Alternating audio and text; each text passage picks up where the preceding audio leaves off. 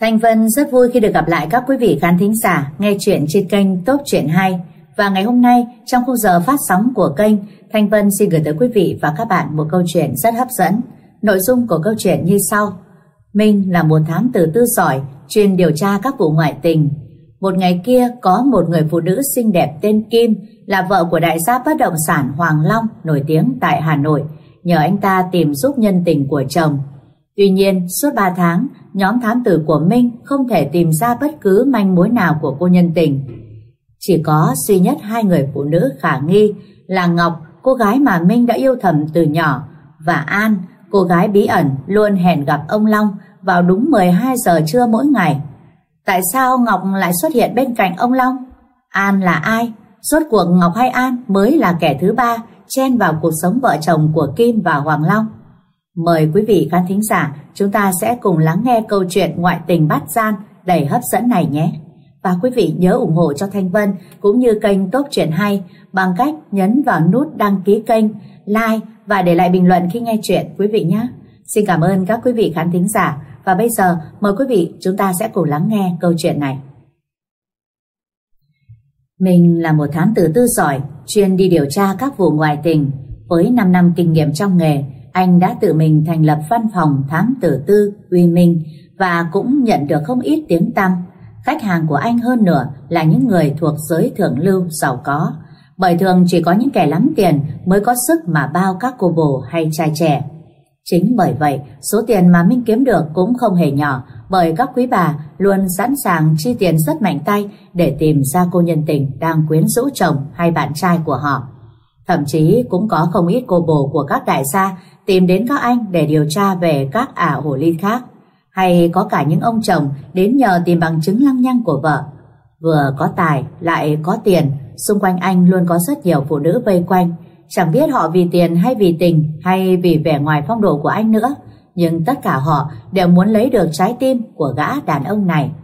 Tuy nhiên, trong lòng Minh chỉ luôn in hình bóng của cô bạn hàng xóm tên Ngọc bị mù sau một vụ tai nạn. Thuở nhỏ, Ngọc hay bị bọn trẻ con trong xóm trêu chọc vì cô không thể nhìn thấy. Những lúc như vậy, chính Minh là người luôn đứng ra bảo vệ cho cô. Thực ra hồi đầu, Minh cũng không hề thích cô bạn hàng xóm. Nhưng một lần, Minh bị ngã xuống giếng vì mải chơi. Kêu cứu mãi mà không ai nghe thấy. Chỉ có Ngọc ở sát vách nhà cậu ta nghe thấy tiếng kêu cứu, liền vội vàng chạy sang, lò mọ tìm chiếc gầu múc nước kéo cậu bạn lên. Nhưng với sức vóc yếu ớt của một cô bé 9 tuổi chẳng đủ để kéo Minh thoát khỏi cái miệng giếng.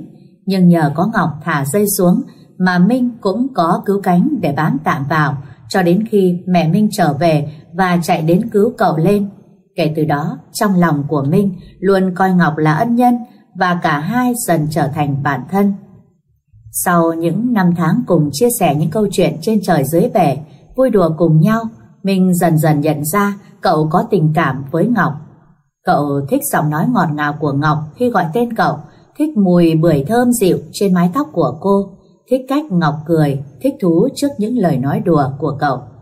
Mình đã quyết định tỏ tình với Ngọc không phải một lần mà là ba lần, nhưng Ngọc đều từ chối. Có lẽ do cô ngại ngần vì bản thân có khiếm khuyết hoặc cô ấy vốn chỉ coi Minh là bạn.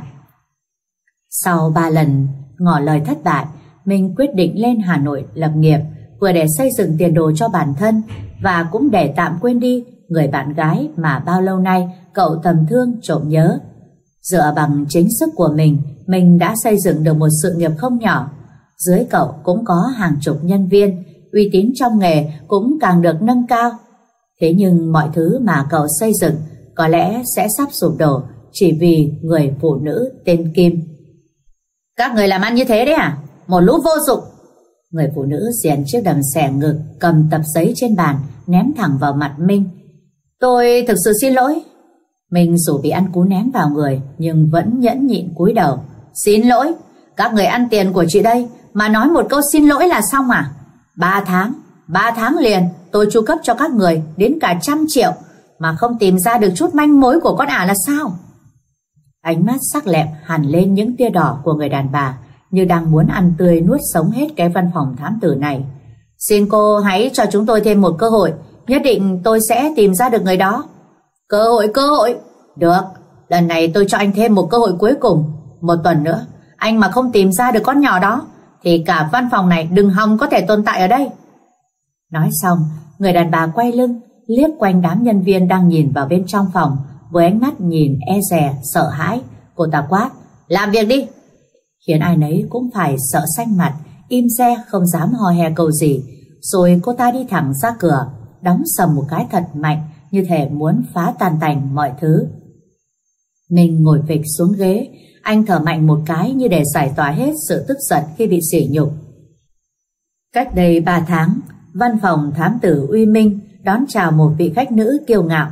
Cô ta diện chiếc đầm đen xẻ đến nửa đùi, khoe khéo đôi chân thon, đôi môi cong đỏ màu mận chín, trên người tỏa ra hương thơm của các loại nước hoa đắt tiền.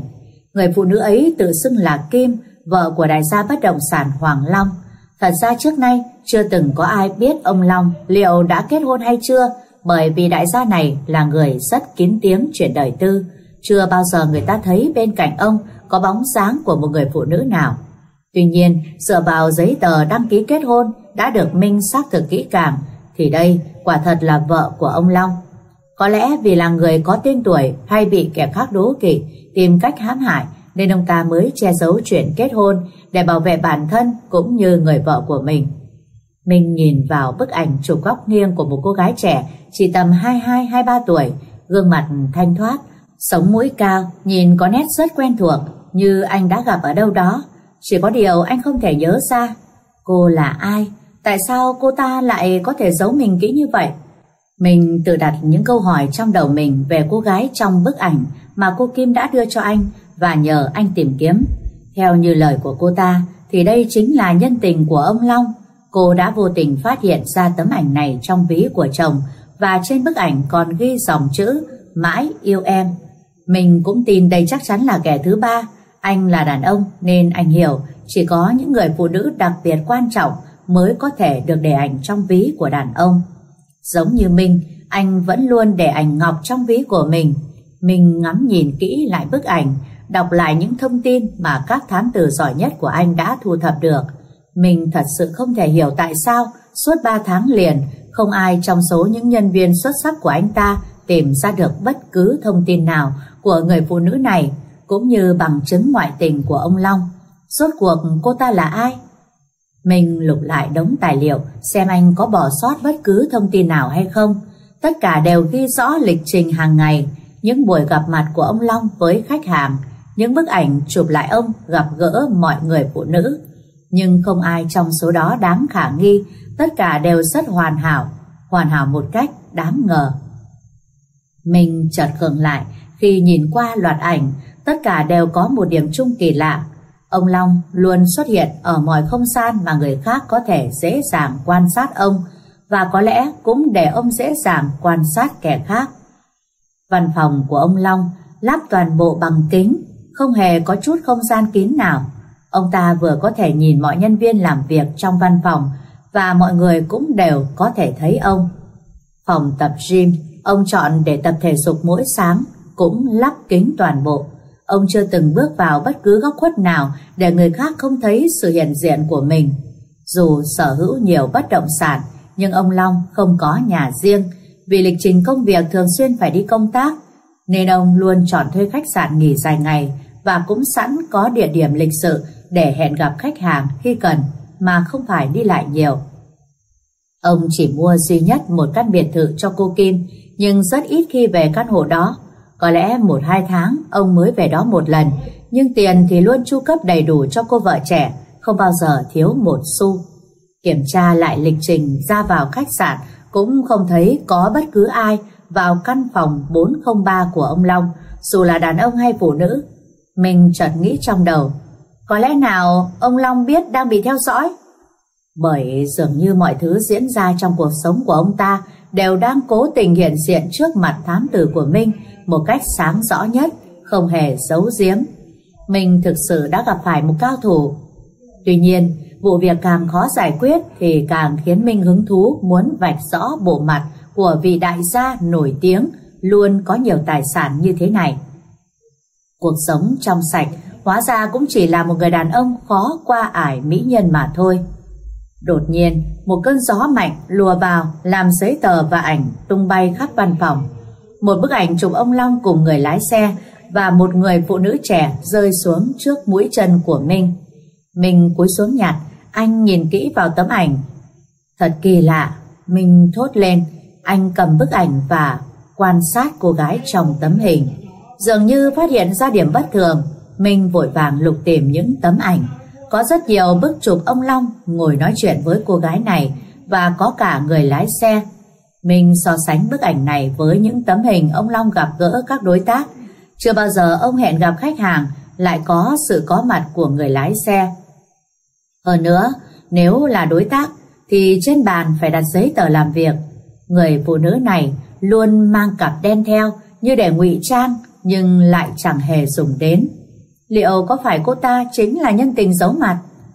Mình lập tức gọi Phong, cậu thám tử giỏi nhất của anh được giao nhiệm vụ này và cũng là người đã sát cánh bên anh từ những ngày đầu tiên thành lập Uy Minh. Những bức ảnh này, cậu chụp chúng khi nào? Mình hỏi. Phong nhìn vào những tấm hình rồi trả lời.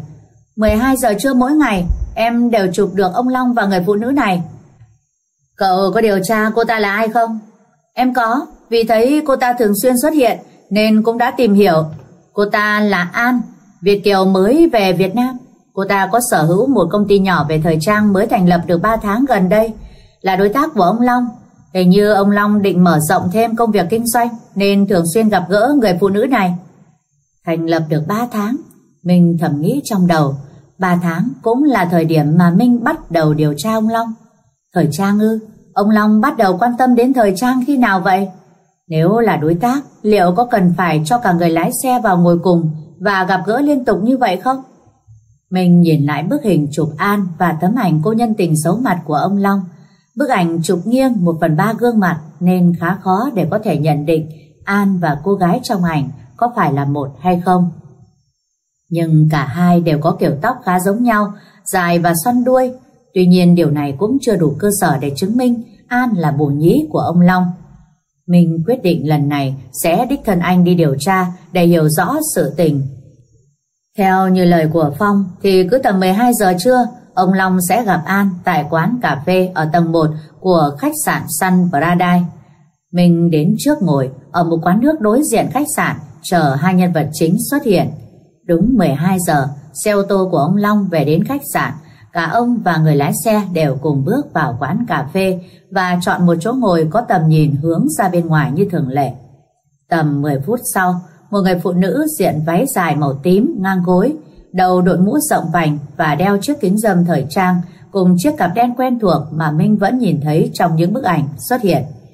Cô ta bước vào quán và tiến tới chỗ của ông Long, vẫn đội mũ và đeo kính, cả hai trao đổi với nhau một việc gì đó. Sau đó ông Long quay sang căn dặn người lái xe vài câu rồi mau chóng rời đi. Mình để ý đồng hồ, cuộc nói chuyện chỉ kéo dài quá 5 phút. Một cuộc đàm phán công việc lại chỉ bàn luận thế thôi sao? Mà nếu gặp gỡ nhân tình cũng chỉ để nói vài câu vậy sao? Hay họ đang bàn cách hẹn gặp nhau bí mật mà không để người khác biết?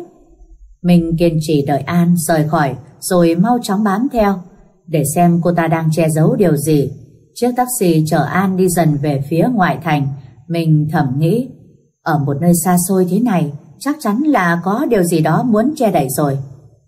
Cuối cùng, chiếc xe cũng dừng lại trước một cánh cổng lớn, xung quanh chỉ toàn là cây cối.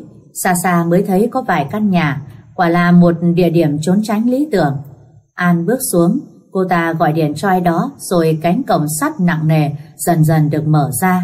Mình ngó vào bên trong, thấy một đoạn đường dài nữa mới dẫn tới một căn biệt thự. Người phụ nữ này xem ra rất giàu có, hay là do ông Long chu cấp? Mình thẩm đoán trong đầu. Chiếc xe taxi đi vào trong, rồi cánh cổng từ từ khép lại. Mình lo lắng, chưa nghĩ ra được cách nào để có thể quan sát được bên trong. Đột nhiên, tiếng gõ cửa kính ô tô khiến Minh giật mình. Một người phụ nữ tầm trung niên xuất hiện bên cánh cửa xe. Mình hoang mang không biết liệu có phải anh ta đã bị phát hiện. Không được, mình phải thật bình tĩnh. Mình hít một hơi thật sâu rồi mở cửa kính xe, quay sang nở một nụ cười dịu dàng như cách anh ta vẫn làm cho các cô nàng say mê, chỉ tiếc đây lại là một bà lão. Cậu là lái xe mà cô An cử tới hả? Bà lão lên tiếng trước. À vâng, cháu là lái xe. Mình trả lời ấp úng. Thế thì mau mở cửa xe để đưa tôi vào trong đi. Bà lão ra lệnh cho mình. Mình vội vàng bước xuống, mở cửa xe cho bà lão bước vào. Cậu lịch sự thật đấy, còn biết mở cửa xe cho bà già này. Thanh niên bây giờ mấy ai được tử tế như cậu. Bà cụ tấm tắc khen ngợi Minh, khiến anh chàng đột nhiên cảm thấy cũng đôi phần hãnh diện. Minh lên xe, định nổ máy đi, nhưng chợt nhớ ra, anh chưa biết cách vào bên trong như thế nào. Minh quay ra phía sau ngập ngừng hỏi bà lão. Bà ơi, cháu... cháu mới đi làm buổi đầu, chưa biết vào nhà này thế nào, bà có biết không ạ? Ôi dào tưởng gì, có thế mà cũng ấp úng, để tôi gọi lão Phương bảo vệ, lão mê bà già này lắm, nhưng tôi đâu có thèm. Mình thầm nghĩ, bà cụ này có vẻ là người hay chuyện, biết đâu có thể moi thêm được chút thông tin. Mình cười chữa ngượng lễ phép nói, vâng, vậy bà giúp cháu à? Sau khi bà lão gọi điện, cánh cổng lớn từ từ mở ra, một đoạn đường dài mở ra trước mặt, dọc hai bên đường đi là những bức tượng điêu khắc kiểu châu Âu hết sức là tinh xảo. Mình cố tình lái xe thật chậm, vừa quan sát xung quanh, vừa tranh thủ hỏi chuyện bà cụ. Bà ơi, chủ nhà này chắc phải giàu có lắm nhỉ, mua cả khu đất rộng như thế này cơ mà. Ừ, đúng rồi, nghe đâu là một ông đại gia bất động sản đấy, giàu có mà nổi tiếng lắm. Tên à, là là Long thì phải. Thế không phải chủ nhà là cô An hay sao ạ? Mình ngạc nhiên hỏi. Không phải đâu, cô An chỉ sống ở đây thôi. Mà như còn có một người phụ nữ khác nữa sống cùng thì phải. Một người nữa cơ ạ? Ừ, có lần tôi vào thấy một cô gái trẻ, xinh lắm, nhưng mà trông cứ buồn buồn, nhìn xa xăm đi đâu ấy, chẳng bao giờ thấy nói chuyện với ai. Mình thầm nghĩ, mua cho cả một căn biệt thự như vậy, chắc chắn cô An này phải có một mối quan hệ đặc biệt với ông Long thì mới có thể được sống trong căn hộ to đẹp hơn cả vợ của ông ta. Còn cô gái mà bà lão nhắc đến kia nữa là ai? Có mối quan hệ gì với ông Long hay là với An? Cô ta hay An mới là nhân tình? Nhờ cuộc nói chuyện với bà lão trên cả đoạn đường về sau đó, mình hỏi dò thêm được rất nhiều thông tin đáng giá. An tuy sở hữu một công ty, nhưng cô ta lại hiếm khi rời khỏi nhà, thường chỉ ra ngoài vào lúc 12 giờ trưa và 5 giờ chiều thứ hai, thứ sáu để đến bệnh viện. Cô gái khác xuất hiện trong căn nhà, chưa từng đi ra ngoài, không giao tiếp với bất cứ ai ngoài An. Ông Long cũng không bao giờ đến căn biệt thự, nhưng lái xe của ông ta thì hàng tuần đều đến hai lần. Có vẻ như chuyến đi lần này của Minh cũng đã thu nhập được rất nhiều thông tin. Có thể gỡ ra được thêm một số vấn đề rằng ông Long không hề trong sạch như nhiều người vẫn nghĩ. Ông ta ngoài vợ còn bao nuôi thêm một, à không, mà là hai cô gái khác một cách bí ẩn. Thông tin này của Minh nếu đem bán cho báo giới có lẽ cũng sẽ thu thập được thêm rất nhiều tiền. Mình nghĩ vậy nhưng anh không thích là người làm mọi thứ dùm beng chỉ để làm nổi cho công ty anh ta mà thôi. Và anh cũng không thích những kẻ khác soi mói đời tư của mình. Mình thích cuộc sống vạch trần bộ mặt thật của người khác hơn là bị người khác bóc trần bản thân mình. Vì vậy, anh nhất định phải khám phá ra được toàn bộ sự thật. Mình quyết định sẽ chuyển hướng theo sát cô gái tên An kia. Có thể cô ta là nhân tình, nhưng cũng có thể cô ta đang che giấu nhân tình hộ ông Long. Nhớ đến lời của bà lão nói, An thường đến bệnh viện vào lúc 5 giờ chiều thứ hai và thứ sáu. Mình nhìn lịch trong điện thoại, nhận ra hôm nay chính là ngày mà An sẽ vào viện. Mình quyết định quay lại căn biệt thự và quan sát từ xa. 5 giờ kém, cánh cổng lớn từ từ mở ra, một chiếc xe ô tô màu đen đi ra, đó là xe của ông Long, đúng biển số xe. Mình hoài nghi, cầm ống nhòm lên theo dõi, nhận ra An đang ngồi bên trong xe, nhưng không có ông Long, mà chỉ có người lái xe của ông ta đang điều khiển. Đợi chiếc xe đi xa một đoạn, mình cũng phóng ô tô bám theo tới một bệnh viện tư khá lớn. Mình nhìn lên tấm biển, nhận ra đây là bệnh viện chuyên về mắt khá nổi tiếng, khoảng vài năm gần đây. Mình lặng lẽ theo sát phía sau An, thấy cô lên tầng 4 vào trong một phòng bệnh. Mình đứng nép ở cửa, nhìn vào trong, chợt nhận ra không chỉ có An mà ông Long cũng đang ở đây.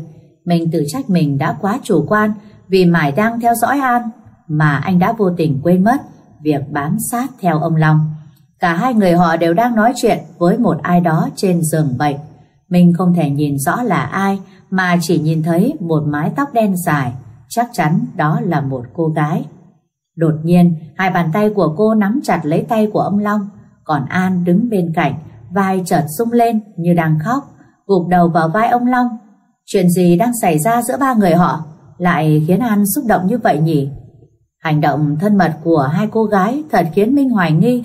Ngày xưa ông Long chưa từng cho phép người phụ nữ nào đụng chạm được vào người ông. Chẳng phải ông ta đã biết Minh đang theo dõi sao? Tại sao ông ta lại có cử chỉ gần gũi với hai người khác như vậy? Đang mải mê suy nghĩ thì đột nhiên tiếng chuông điện thoại của Minh vang lên. Anh giật mình vội nép sau cánh cửa. Không biết liệu bản thân đã bị phát hiện hay chưa? Mình vội vã rời đi chỗ khác nghe điện thoại. Là số của cô Kim. Mình ấn nghe. Đã ba ngày rồi, cậu vẫn chưa gửi cho tôi bất kỳ thông tin gì là sao? Giọng người phụ nữ đầy bực tức. Tôi vẫn đang tìm hiểu. Cuối tuần này tôi nhất định sẽ có câu trả lời. Mình đưa tay lên che miệng, cố trả lời thật nhỏ, tránh gây sự chú ý, nhưng vẫn vừa đủ để cô Kim nghe thấy. Cậu nhớ đấy, cuối tuần này mà không tìm được ra con hổ ly đó, thì cậu bán cái công ty rẻ rách của cậu đi mà trả nợ thôi. Cạch, nói xong bà Kim dập máy, không để Minh kịp nói thêm câu nào. Phụ nữ quả thật đáng sợ, khi ghen họ lại càng hung dữ hơn. Cũng đúng thôi, khi ông Long lại là một đại gia giàu có, lại phong độ. Người phụ nữ nào mà chẳng muốn giữ chặt lấy ông ta để hưởng cuộc sống vinh hoa phú quý. Đàn bà không ham tài thì cũng là ham tiền, chắc chỉ có Ngọc của anh là chân thật nhất. Chợt nhớ ra đang điều tra, mình vội quay lại phòng bệnh để quan sát, nhưng ông Long đã đi khỏi, chỉ còn An và cô gái kia, dường như có điện thoại. An đứng lên ra sát góc phòng nghe, lúc này Minh mới có cơ hội để biết cô gái trên giường bệnh là ai. Tại sao lại có thể nắm lấy tay của ông Long? Nhưng cô gái lại quay lưng về phía Minh, nên anh vẫn không thể biết được gương mặt của cô. Mình chợt giật mình khi thấy chiếc cặp trên tóc của cô gái. Nó chẳng phải rất giống chiếc cặp năm xưa, chính tay Minh tự tay uốn tạo thành hình con bướm cho Ngọc hay sao? Những hạt cườm trên con bướm ấy cũng chính Minh dính vào.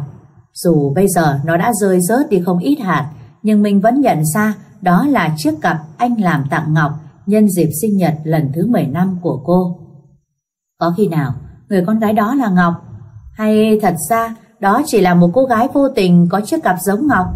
Hay là người quen biết với cô ấy? Tiếng chuông điện thoại lại một lần nữa vang lên. Mình nhìn lên màn hình là số của Phong. Anh nhấc máy. Có chuyện gì vậy? Sếp, em phát hiện ra điều bất thường liên quan tới ông Long. Vấn đề gì? Ông ta đã chuyển giao một phần hai số tài sản cho một cô gái lạ tên Nguyễn Bảo Ngọc. Căn biệt thự mà anh nhờ em điều tra cũng được chuyển sang tên cô ấy. Nguyễn Bảo Ngọc? Đó chẳng phải là tên của người con gái mà bao năm qua mình không thể quên sao? Có khi nào đây chỉ là sự trùng hợp? Nhưng chiếc cặp tóc mà cô gái trên giường bệnh đang đeo kia rất giống chiếc cặp năm xưa mà anh làm. Có lẽ nào cô gái đó chính là Ngọc? Mình dường như không còn nghe thấy bất cứ điều gì mà Phong nói nữa. Anh vội vàng cúp máy, quay lại về phía phòng bệnh để xác minh. Nhưng cả An và cô gái bí mật kia đều đã rời đi. Mình chạy khắp xung quanh tìm kiếm, nhưng không thấy ai. Mình chạy vào phòng bệnh, nhìn lên bảng tên của bệnh nhân, Nguyễn Bảo Ngọc. Trời đất quanh mình như sụp đổ. Ngọc thực sự quen biết với ông Long hay sao? Tại sao ông ta lại chuyển hết một nửa tài sản cho Ngọc? Mình bàng hoàng, anh không thể tin những gì đang xảy ra trước mắt.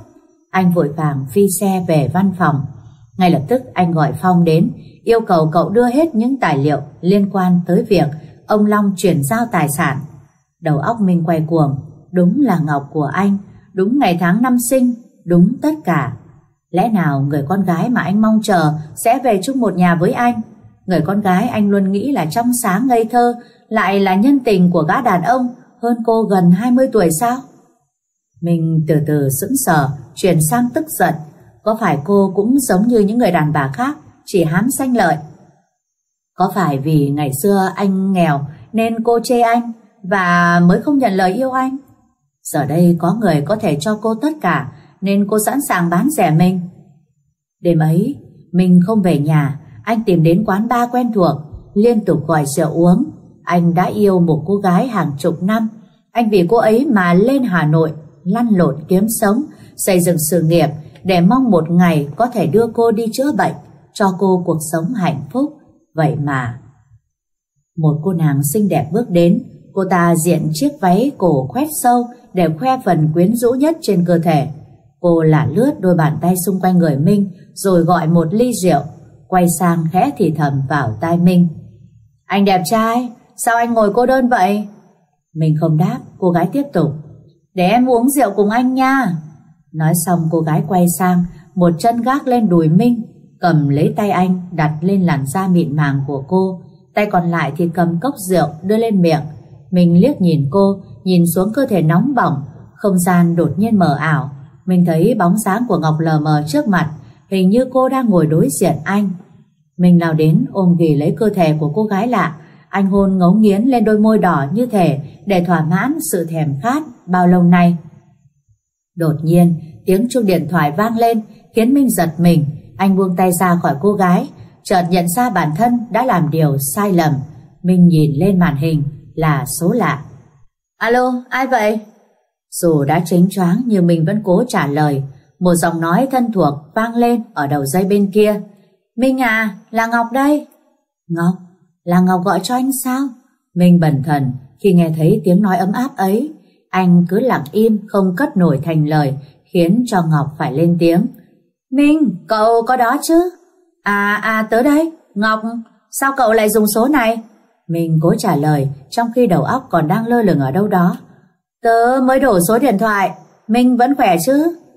Mình dường như vẫn chưa hết ngỡ ngàng, anh trả lời ấp úng. À ừ, tớ, tớ vẫn khỏe. Minh có vấn đề gì à? Hình như cậu không muốn nói chuyện với tớ. Ngọc ngập ngừng. Không không, tớ chỉ hơi bất ngờ vì lâu lắm rồi cậu không gọi cho tớ thôi. Minh vội vàng giải thích. Phía bên kia khẽ cười, Minh có thể hình dung ra được nụ cười dịu dàng ấy, đôi môi hồng với hàm răng trắng đều tăm tắp. Đã có lúc anh ước được hôn lên đôi môi mềm mại ấy, một nụ hôn thật sâu. Tớ có thể gặp Minh không? Tớ đang trên Hà Nội.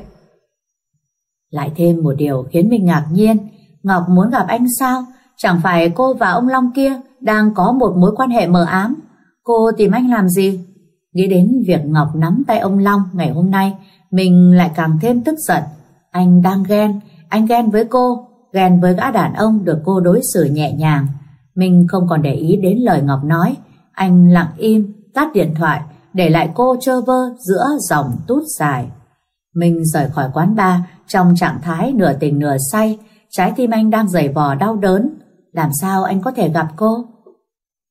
Tiếng chuông điện thoại khiến mình tỉnh giấc, là tin nhắn của Phong hỏi anh đang ở đâu. Đầu óc anh vẫn còn quay cuồng vì cơn say tối qua. Mình liếc nhìn đồng hồ, đã 12 giờ trưa rồi, anh chẳng muốn đến văn phòng, cũng không muốn tiếp tục tìm hiểu vụ ngoại tình kia nữa. Trái tim anh giờ đang vụn vỡ, anh cố gắng kiếm tiền vì người con gái mà anh yêu. Giờ cô ấy đã có người khác, thì anh còn tha thiết gì chuyện công việc. Nhưng cơn đói lại kéo đến, cả tối hôm qua Minh chưa ăn gì, anh chỉ lao vào uống rượu, nên giờ bụng cồn cào, dù không muốn rời khỏi giường, nhưng Minh vẫn đành mặc vội quần áo rồi lái xe ra ngoài ăn. Cơn say tối qua vẫn khiến Minh chóng mặt và nôn nao, nhưng anh vẫn cố lái. Đột nhiên, rầm, mình thắng xe phanh kít lại, anh đã đâm phải một thứ. Không, là một người nào đó. Anh đã gây ra tai nạn trong một phút lơ là. Mình hốt hoảng tới mức không biết phải làm gì. Anh ngồi yên, mắt mở trừng về phía trước, cho tới khi có người tới đập cửa. Mình mới hoàn hồn, vội vã bước xuống xe. Trước mũi xe của anh là một cô gái đang nằm sõng xoài trên đất. Máu ở trán cô ta rỉ ra, mái tóc đen dài che gần hết nửa khuôn mặt. Mình vội vàng chạy tới đỡ cô gái trẻ dậy, vuốt đám tóc lòa xòa ra khỏi gương mặt của cô. Anh sững sờ. Ngọc, đó là Ngọc. Mình vội vã đưa cô lên xe để trở đến bệnh viện. Đến bệnh viện, anh vội vàng hỏi bác sĩ. Vậy mắt cô ấy có sao không ạ? Không vấn đề gì, mắt cô ấy vẫn nhìn tốt lắm. Nhìn? Mình ngạc nhiên, anh nhớ Ngọc bị mù mà, sao giờ bác sĩ lại bảo cô nhìn được? Lẽ nào cô đã được phẫu thuật, nhưng gia đình cô làm sao đủ tiền để chữa trị? Mình sực nhớ ra hôm anh đi theo An tới bệnh viện, cô gái trên giường bệnh hôm ấy đúng là Ngọc. Minh! Tiếng gọi thân quen làm Minh chợt giật mình, khiến anh dứt khỏi mớ suy nghĩ hỗn độn. Ngọc ngồi trên xe lăn, nữ y tá đang đẩy cô ra ngoài. Nhìn thấy Ngọc như vậy, mình bỗng chốc quên hết mọi thứ, vội chạy đến bên cô, ngập ngừng nói. Ngọc, cậu, tớ, tớ xin lỗi. Tớ không sao đâu, bác sĩ đã kiểm tra rồi, tớ chỉ bị nhẹ thôi mà. Ngọc vừa nói vừa mỉm cười dịu dàng, nụ cười đó của cô năm xưa đã khiến mình ngây ngất trong men tình. Cô vẫn vậy, luôn hiền lành, không bao giờ oán trách bất cứ ai, dù cho người khác có làm tổn thương cô. Mình thầy y tá đẩy Ngọc tới phòng chụp não, anh có rất nhiều điều muốn hỏi cô, nhưng có lẽ anh cần phải chịu trách nhiệm cho sự cố mà anh đã gây ra trước. Sau nửa ngày ở viện, Ngọc được phép về nhà hẹn ngày tái khám. Mình đưa Ngọc về, lúc này anh mới biết hóa ra Ngọc đã lên Hà Nội được hơn 3 tháng để phẫu thuật mắt. Ca mổ thành công, Ngọc đã có thể nhìn thấy trở lại. Ngọc chỉ Minh chở cô đến đúng căn biệt thự mà An ở. Mình không ngạc nhiên, giờ anh đã biết chắc chắn là cô gái còn lại trong căn nhà đó là ai. Lòng ghen lại trỗi dậy, mình nói một câu như mỉa mai cay đắng. Ngọc bây giờ có nhà giàu quá nhỉ? Như hiểu ra vấn đề, Ngọc vừa giải thích. Không phải nhà của tớ đâu, người ta cho tớ ở nhờ một thời gian cho đến khi phẫu thuật xong xuôi thôi. Sau đó tớ sẽ rời đi. Mình ngạc nhiên, chẳng phải ông Long đã chuyển giao căn nhà này lại cho Ngọc ư? Sao cô lại nói là ở nhờ? Hay cô chỉ đang giả vờ ngây thơ với anh? Cánh cổng mở ra, minh dìu Ngọc vào trong nhà. minh nhìn xung quanh không thấy An đâu. Cô ta rõ ràng cũng ở đây cơ mà. Cậu có muốn xem qua căn nhà không? Ngọc hỏi khi thấy Minh đưa mắt nhìn xung quanh. Minh ngượng ngùng đáp khi chót bị cô phát hiện. À không cần đâu, để tớ đỡ cậu ngồi vào ghế. minh đỡ Ngọc ngồi xuống, đột nhiên trên bàn đập vào mắt anh một bài báo viết về ông Long. Giờ đây bất cứ điều gì liên quan tới người đàn ông đó đều khiến Minh khó chịu. Anh vội đứng dậy, rậm quay người bỏ đi, thì Ngọc níu tay anh lại, hỏi với giọng điệu lo lắng. Minh, cậu đi đâu vậy? Minh không trả lời, cảnh tượng Ngọc nắm tay ông Long trong bệnh viện hiện ra, khiến anh đột nhiên cảm thấy căm ghét người con gái này. Anh căm ghét cô đến mức bàn tay nắm chặt, móng đâm vào thịt sắp chảy máu đến nơi mà không hay biết. Anh không muốn thấy người con gái này nữa, mình vội vã rời đi không lời từ biệt. Ngọc gọi với theo, nhưng anh không trả lời. Cô ngồi im lặng thẫn thờ không hiểu chuyện gì xảy ra.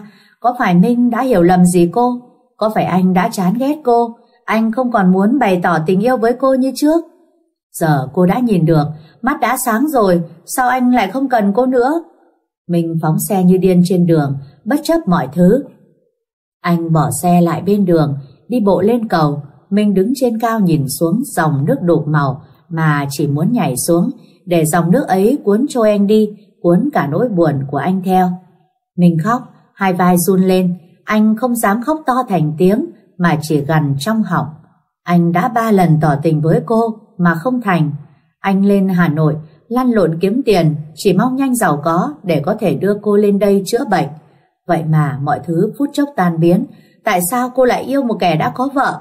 Cô thà làm bổ nhí của một gã hơn cô gần 20 tuổi để hưởng sang giàu thay vì sống bình yên bên anh hay sao? Cô đâu phải người như thế. Cô lương thiện ngây thơ lắm cơ mà. Đột nhiên, mình bắt đầu ngẫm lại có phải anh đã quá tức giận mà suy nghĩ không thông suốt không? Ngọc, cô gái mà anh biết là người tử tế, tốt bụng, có khi nào chính cô đang bị gã đàn ông kia lừa không? Và còn cô gái trong bức ảnh mà cô Kim đưa, rõ ràng đó không phải là Ngọc. Mình ngừng khóc, anh như chợt bừng tỉnh, quay xe về căn biệt thự. Anh cần phải hỏi rõ ràng mọi thứ, phải xử lý mớ bòng bong này. Anh cần phải biết cô có còn là Ngọc mà anh quen biết hay không. Ngọc, cậu ấy nói thật cho tớ biết, cậu có quen người đàn ông này không? Mình đưa bức ảnh của ông Long ra, tay anh run run như sợ cô sẽ xác nhận rằng cô yêu ông ta. Ngọc cầm bức ảnh lên rồi nói, có, tớ có quen. Từ có của Ngọc như một tiếng sét ngang tai, đúng là cô và hắn ta có quen biết nhau, nhưng điều đó chưa đủ.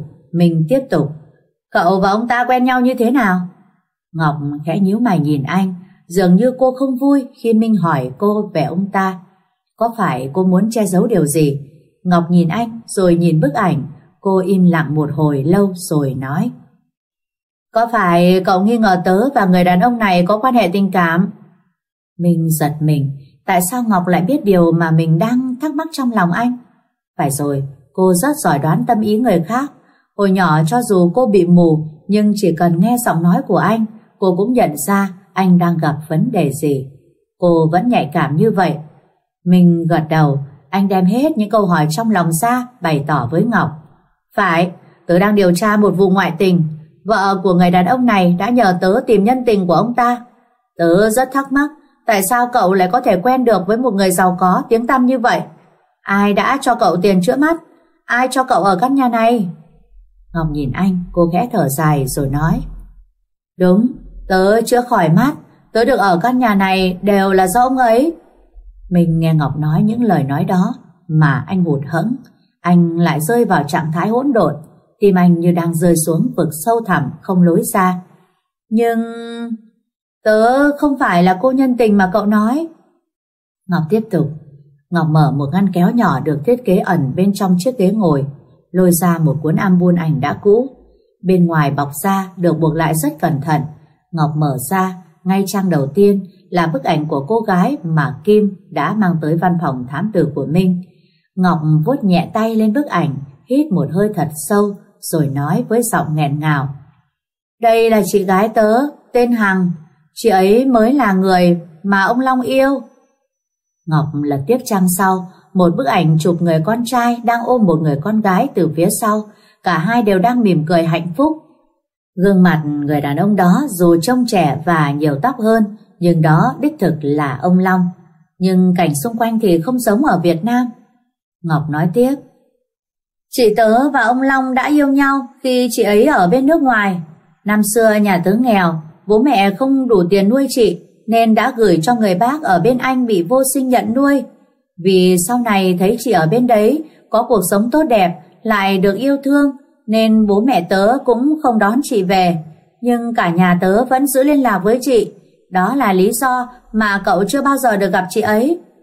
Mình nhớ lại khi xưa, cậu đã từng nghe loáng thoáng bố mẹ kể câu chuyện Ngọc có một cô chị gái sống ở nước ngoài. Nhưng lúc ấy cậu còn nhỏ nên cũng không tò mò và cũng chẳng ghi nhớ. Vậy giờ chị ấy đang ở Việt Nam phải không? Mình hỏi. Không, chị ấy mất rồi. Mất cách đây 3 năm. Ngọc nói nước mắt của cô rơi xuống bức ảnh. Hôm đó anh Long đưa chị Ngọc đi bộ về nhà vì cả hai gia đình không ở cách xa nhau lắm. Một gã say mất lái lao lên vỉa hè, chị đã lao tới đẩy anh Long ra và một mình hứng chịu tất cả. Mình im lặng, anh hiểu Ngọc đang rất đau lòng. Từ nhỏ cô đã luôn khao khát có được một người chị hoặc em gái để cùng chơi, nên khi biết bản thân có chị mà chị lại mất khi cả hai chưa có cơ hội gặp. Chắc hẳn cô rất sốc. Mình ôm Ngọc vào lòng, an ủi cô. Sau một lúc dường như đã bình tâm hơn, Ngọc tiếp tục. Khi còn yêu nhau, chị hay kể với ông Long và mong muốn kiếm nhiều tiền để chữa mắt cho tớ. Ông Long nhớ điều ấy nên đã thay chị thực hiện nốt ước nguyện ấy. Cách đây hơn 3 tháng, ông cầm theo quyển album ảnh này tìm về nhà tớ và ngỏ ý muốn giúp đỡ. Gia đình tớ cũng mong tớ có thể nhìn được, chứ cũng không đòi hỏi thêm gì. Ngọc đưa tay, lau những giọt nước mắt rồi quay sang nhìn Minh. Giờ thì cậu biết tớ không phải nhân tình rồi chứ? Minh chợt cảm thấy xấu hổ trước câu nói của Ngọc, cảm thấy bản thân dường như đã phạm phải sai lầm khi chót nghi ngờ cô. Minh chỉ cúi đầu rồi ngập ngừng giải thích. Tớ xin lỗi, cũng tại lần trong bệnh viện tớ thấy cậu... Nắm tay ông ta nên... Nắm tay? Ngọc ngạc nhiên rồi nhớ lại lúc cô nắm tay ông Long trong viện, cô khẽ cười. À, lúc đấy tớ vì cảm thấy biết ơn ông ấy đã giúp tớ, nên trong lúc xúc động tớ mới cầm tay kiểu cảm ơn thôi, chứ tớ không có tình cảm gì ngoài sự kính trọng. Câu nói của Ngọc khiến mình như gỡ được nút thắt trong lòng. Anh vui mừng, nắm lấy tay Ngọc định nói ra điều gì đó thì một giọng nói cất lên. Ai đến nhà về Ngọc? Mình quay đầu lại, nhận ra đó là An. Ngọc nhìn thấy An liền hào hứng giới thiệu. Đây là Minh, bạn em. Em bị tai nạn nên cậu ấy đưa em về. Còn Minh, đây là chị An, bạn thân của chị gái tớ và ông Long. Mình lên tiếng chào An, còn cô dường như hơi có thoáng chút giật mình khi nghe Ngọc nói anh là bạn. Cô có vẻ không ưa gì anh nên không nói gì, chỉ im lặng bước qua, rồi đột nhiên quay lại nói Đã muộn rồi, cậu về đi, ở đây đã có tôi chăm sóc con bé. Mình hiểu, bản thân anh không được đón nhận ở trong căn biệt thự này nên xin phép ra về. Ngọc nhìn theo anh, ánh mắt đầy tiếc nuối. Cô định lên tiếng giữ anh lại nhưng An đã ngăn cản cô. Mình trở về nhà, cũng may lần trước Ngọc gọi, anh vẫn còn giữ số liên lạc. Tối ấy cả hai người lại nói chuyện với nhau rất lâu. Đã lâu rồi anh không còn được tâm sự với cô lâu như vậy. Mình cảm thấy trong lòng nhẹ nhõm hơn khi mọi khúc mắc trong anh giờ đã sáng tỏ. An là bản thân của chị gái Ngọc và ông Long. Cô mồ côi từ nhỏ, không có chị em nên coi chị Ngọc như là ruột thịt. Sau này biết Long có ý muốn về Việt Nam giúp đỡ Ngọc nên cô đã về cùng và muốn được nhận Ngọc là em gái. An lập công ty về thời trang để cô có thể sống tại Việt Nam và tiện chăm sóc cho Ngọc và bố mẹ cô. Thời gian trước, Ngọc phải khám chữa về mắt nên không được ra ngoài. An là người thông tin lại mọi việc cho ông Long. Mặc dù đã gỡ bỏ được nỗi lo lớn nhất trong lòng rằng Ngọc không phải nhân tình, nhưng còn một vấn đề mà Minh vẫn còn hoài nghi là tại sao ông Long lại giao một phần hai tài sản cho Ngọc, cả căn biệt thự cô đang ở, ông cũng đã chuyển giao cho cô, trong khi Ngọc không hề hay biết, không lẽ ông ta định nghỉ hưu sớm? Cả cô Kim nữa, mình nên nói thế nào với cô ta? Dù Ngọc không phải nhân tình, nhưng chuyện ông Long đối tốt với cô chắc chắn sẽ khiến Kim khó chịu và làm hại Ngọc. Những suy nghĩ lo lắng khiến mình cảm thấy thật khó ngủ. Cốc cốc cốc, tiếng gõ cửa vang lên, Minh giật mình, nhìn đồng hồ, giờ là 2 giờ đêm, ai lại đến làm phiền anh lúc này? Mình cảnh giác nhìn qua lỗ mắt mèo, là ông Long. Mình hơi bất ngờ khi thấy ông Long xuất hiện trước cửa nhà, nhưng anh cũng đoán có lẽ Ngọc đã kể với ông ấy tất cả hoặc cô ấy đã nói chuyện với An. Cậu không mời tôi vào nhà là sao? Ông Long lên tiếng trước. Mình mở rộng cửa để ông Long vào nhà, hai người ngồi xuống ghế. Mình chưa kịp lên tiếng thì ông Long đã mở lời. Ngọc rất hay nhắc về cậu, con bé có vẻ rất có tình cảm với cậu. Ngọc thường nhắc về Minh sao? Có phải vì thế mà sau khi phẫu thuật thành công, cô đã ngay lập tức tìm đến cậu? Mình chợt thấy chút sao xuyến trong lòng khi biết Ngọc lại nhớ về anh nhiều như vậy. Nhưng chắc chắn ông Long đến đây không phải vì chuyện đấy. Ông đến đây chắc không phải để nhắc tôi về Ngọc. Mình vừa nói vừa đẩy cốc nước anh mới rót về phía của ông Long. Phải, tôi cũng không muốn vòng vo nữa. An đã nói với tôi về sự xuất hiện của cậu và tôi cũng biết cậu đang làm việc cho ai. Nhưng tôi muốn cậu giữ bí mật về Ngọc giúp tôi. Tại sao ông lại muốn vậy? Ông sợ vợ ông sao? Ông Long im lặng, nhìn ra phía cửa sổ, bất chợt thấy trên giá sách có một tấm ảnh của Ngọc và Minh đã luôn gìn giữ suốt bao năm qua. Ông ta tiến lại gần, cầm nó lên và nói Cậu chắc hẳn có tình cảm đặc biệt với Ngọc đúng không? Kim, cô ấy không phải là người xấu, nhưng tôi không muốn cô ấy biết về Ngọc. Tôi không muốn làm tổn thương vợ mình. Mình bước tới, lấy lại bức ảnh trên tay của ông Long, đặt lại vị trí trên giá. Anh không thích người khác động vào đồ đạc của mình, nhất là những thứ liên quan tới Ngọc. Cô Kim chẳng phải là vợ ông hay sao? Tại sao ông phải giấu giếm? Đó là chuyện của gia đình tôi, cậu không cần quan tâm quá nhiều như vậy đâu. Ông Long có vẻ bực bội trước câu hỏi của Minh. Cậu chỉ cần lo giữ kín chuyện này và bảo vệ Ngọc là đủ rồi. Cậu yêu con bé mà, đúng không? Tất nhiên tôi sẽ bảo vệ Ngọc, nhưng tôi cũng cần phải biết rõ thì mới có thể giải quyết mọi vấn đề với vợ của ông được. Minh phân trần. Tôi đã nói cậu đừng quan tâm nữa cơ mà. Ông Long giận dữ hét lên rồi đột nhiên ngã quỵ xuống, ho liên tục. Mình hốt hoảng chạy tới đỡ ông Long, nhìn xuống sàn nhà cậu thấy những giọt máu. Lo lắng sẽ có chuyện chẳng lành, mình với điện thoại của ông Long gọi điện thoại cho người lái xe đang đứng đợi ở dưới nhà. Một lúc sau, tại bệnh viện, chỉ có Minh và ông Văn, người lái xe của ông Long, đứng bên ngoài hành lang đầy lo lắng.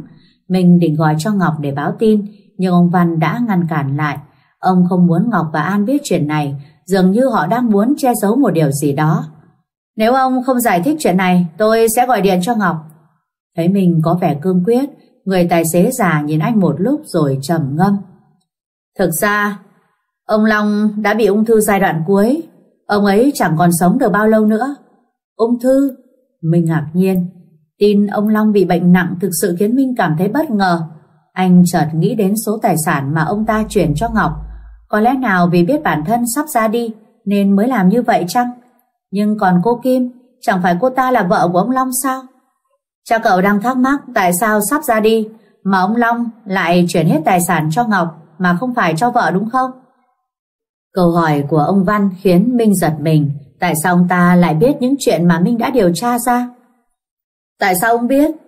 Minh hỏi với ánh mắt đầy hoài nghi. Ông Long này quả thật không phải người đơn giản. Ông Văn nhìn Minh rồi cười nói Chàng trai trẻ, cậu là một thám tử luôn theo sát người khác mà lại không hề biết ngay bên cạnh mình lại có kẻ khác đang theo dõi sao? Mình ngạc nhiên, lẽ nào ba tháng qua thám tử giỏi nhất của cậu không thể thu được kết quả gì là vì có gián điệp sao? Ai mới là người có thể làm được điều đó? Chắc chắn đó phải là người có thể biết đến vụ việc này. Ngoài cậu, cô Kim và Phong ra thì không ai biết rõ.